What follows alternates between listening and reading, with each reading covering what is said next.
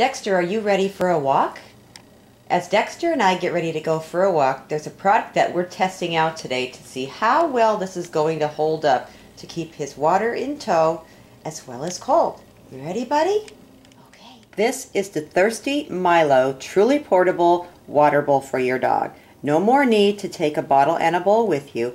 Thirsty Milo holds 1.5 liters of water, and what I like about it, other than the really cute color, is that you can unscrew the lid, and when it comes off, it acts as a water bowl. So your dog's water literally gets housed in the bowl as you are carrying it by your side. And we'll have Dexter test it out right now. So you can tell that Dexter enjoys it. Oh, and he's pushing his thirsty Milo around and picking it up for the road. Good boy, Dex.